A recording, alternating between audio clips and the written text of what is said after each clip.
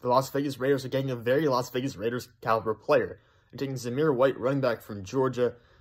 Now, White was a player who wasn't really used often on passing downs. He's more of a power back, and I say power back in a nice way because he is a weight room stud. I mean, he is just incredible what he can do in the weight room. He's always going to work on his body. He's very well built at 6 foot 214, 34 and a half inch arms. He is an explosive athlete with really good linear speed. That being said, he's got a history of injuries to his lower body, which is a little bit concerning. He doesn't really break many big plays because he just is a linear explosive athlete. He's not a guy who's going to make too many people miss in the hole.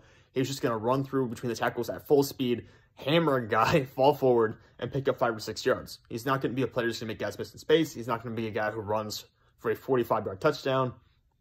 That being said, I don't know if I love him in like a fourth and one situation. I don't know if he's got that much power per se. But if you're looking for someone to do consistently over the course of a game, yeah, he can pull that off. It'll be very interesting to see how the how the Raiders balance him, Josh Jacobs, Kenyan Drake in that locker room. Because obviously the new coaching staff, the new general manager, did not bring in Kenyan Drake, did not draft Josh Jacobs.